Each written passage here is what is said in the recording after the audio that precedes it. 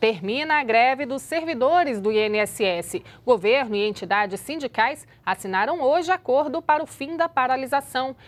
O atendimento nas agências da Previdência Social será restabelecido até amanhã, dia 1 de outubro. O INSS e seus servidores já estão atuando para organizar as atividades e atender os segurados. Não está descartada a realização de mutirões. Para mais informações, os segurados podem ligar na Central 135.